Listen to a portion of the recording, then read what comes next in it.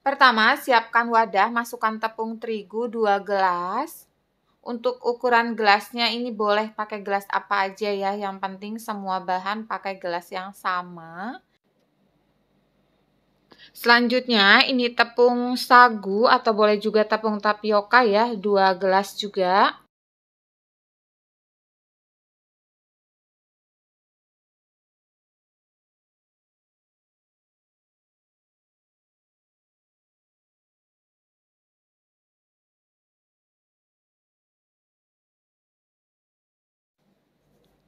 Santan kekentalan sedang 1 gelas.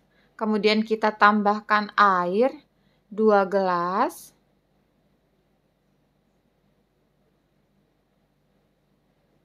Telur 2 butir. Kaldu bubuk 1 sendok makan, garam setengah sendok makan, kemudian ini kita aduk-aduk hingga tercampur rata.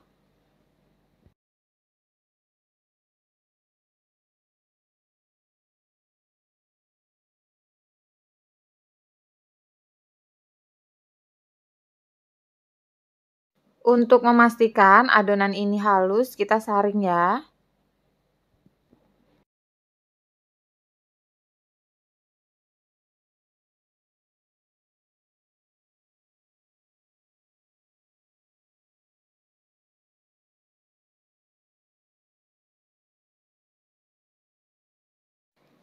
Terakhir, aku tambahkan bawang putih 5 siung yang sudah dihaluskan.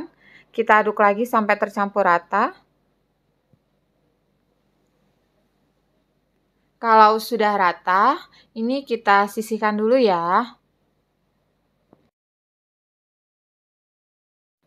Untuk membungkusnya, aku pakai plastik mambo gulungan. Ini diameternya 5 cm. Kemudian kita simpul bagian ujungnya dan digunting. Lakukan lagi seperti tadi sama ya. Ini kita buat sebanyak 8 buah.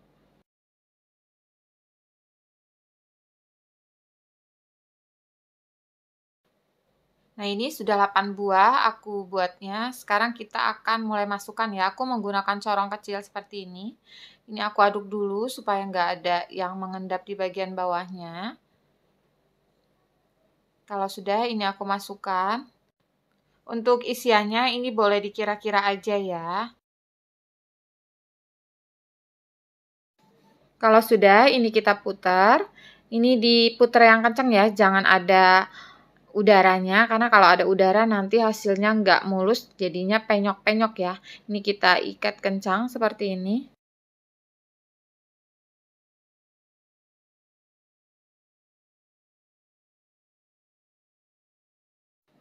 Selanjutnya ini digunting supaya rapi ya.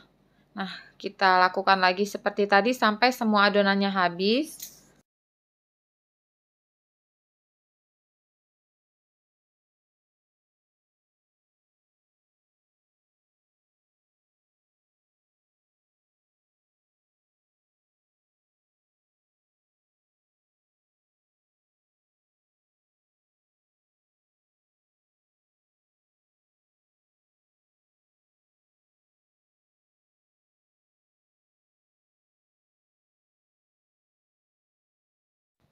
Ini sudah selesai semua aku bungkus. Satu resep menghasilkan 8 lenjar seperti ini. Kemudian kita rebus. Sebelumnya aku sudah panaskan air hingga mendidih. Kemudian kita masukkan. Ini kita rebus selama 20 menit. Setelah 20 menit, pempeknya sudah matang, angkat.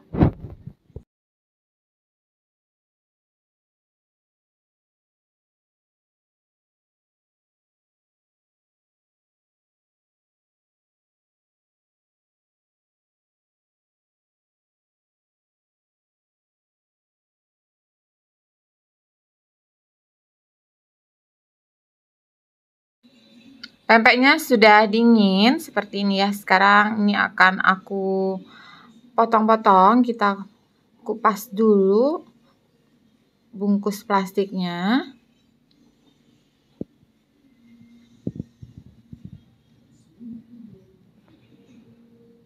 Lalu dipotong-potong sesuai selera aja ya ukurannya. Hasilnya seperti ini, empuk. Ini bisa langsung dimakan ya, kalau mau digoreng boleh juga. Ini aku sudah panaskan minyak, lalu kita goreng.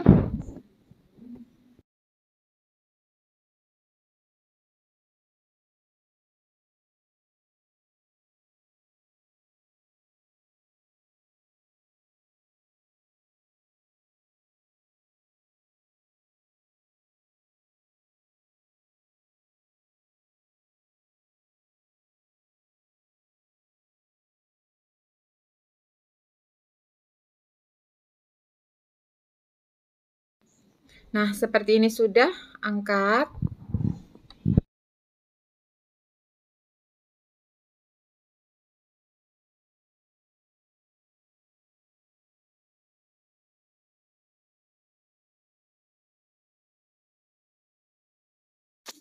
Nah ini dia pempek sutra ekonomisnya sudah jadi bisa kita nikmati bersama kuah cuko. Untuk cara membuat kuah cukonya nanti linknya aku tulis ya di kolom deskripsi. Kalian bisa klik aja di bawah judul. Gimana? Bisa ya? Kalau kalian suka dengan video ini jangan lupa like ya. Dan di subscribe kalau kalian belum subscribe. Dan share juga ya ke teman-teman kamu. Semoga bermanfaat. Terima kasih. Wassalamualaikum warahmatullahi wabarakatuh.